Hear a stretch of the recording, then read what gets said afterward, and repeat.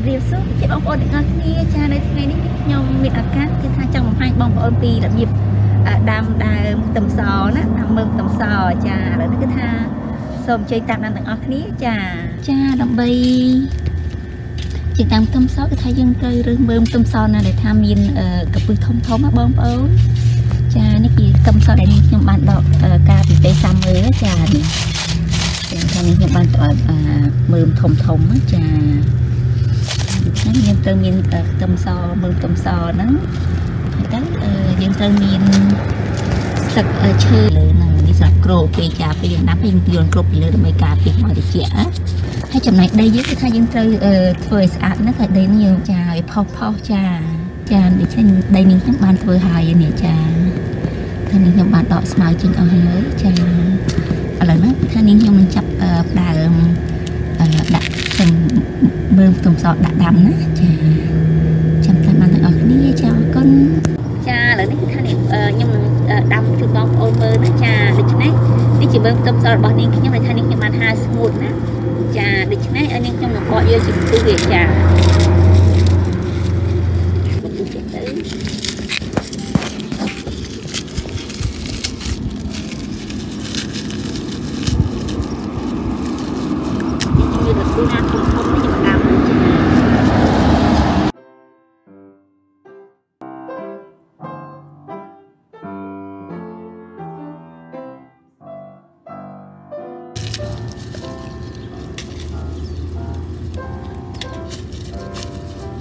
ចានេះយកពឹសមកចេះណាចាទៀតអឺ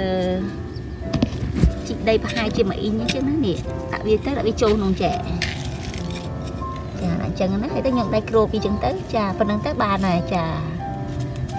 ត្រូវមុខមើលទៀតណាចាមើលនេះចាដូច្នេះយើងយកអាអានេះអាមានស៊ុយស៊ុយឡើងលើ ចានេះនៅក្រោម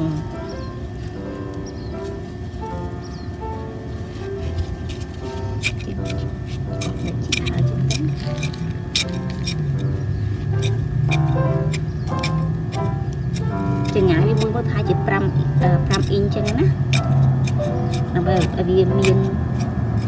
កន្លែងដាក់វាបានធំខ្ញុំដាក់ចូលទៀតនេះ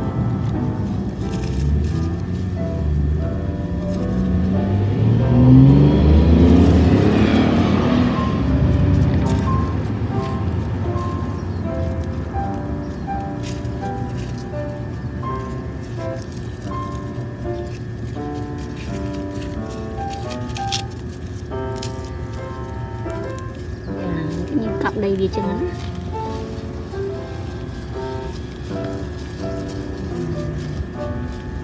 ចាដូច្នេះយើងដាំចឹងទាំងអស់រហូតចឹងទៅដល់ពេលយើងដាំចាប់ហើយយើងយកអានេះមកគ្របពីលើចាគ្របចេញ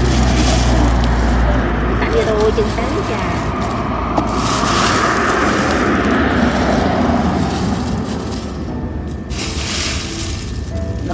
ឲ្យវាត្រជាក់ផងហើយទៅវានេះទៅធ្វើឲ្យដល់ស្មៅទៅណាមួយទឹកឈើវាឲ្យជី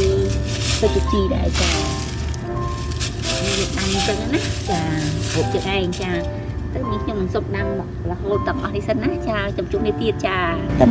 សតដែលថាទឹកតែដាំនេះគឺថាយើងអាចសោយទឹកមួយថ្ងៃម្ដងឬក៏2ថ្ងៃឬក៏3ថ្ងៃម្ដងក៏បានដែរណាគឺថាទៅតាមអាកាសធាតុតាមបងប្អូនរស់នៅចា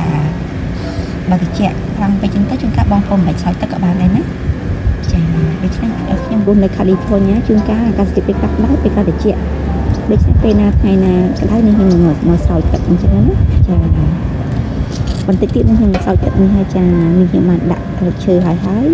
ដូច្នេះនេះខ្ញុំសោយទឹកវាណាចាចាបងប្អូននេះគឺជាដើមខ្ទឹមសរបស់នាងខ្ញុំគឺថានាងខ្ញុំបានដាំបានចំនួន13អាទិត្យហើយណាបងប្អូនចាគឺថាដើមខ្ទឹមសគឺថានាងខ្ញុំចាប់ដើមដាំ នៅថ្ងៃទី1ខែ11ឆ្នាំ2022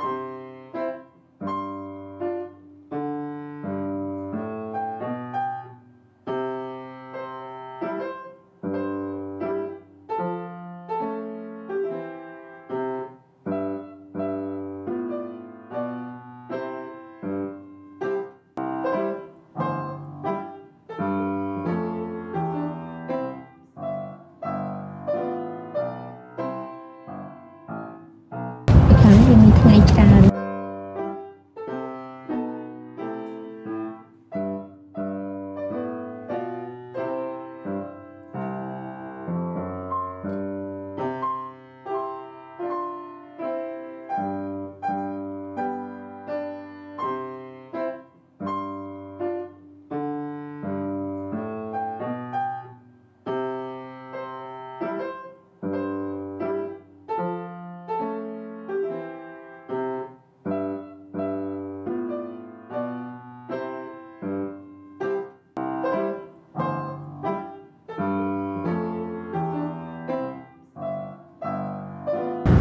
បងប្អូនអឺ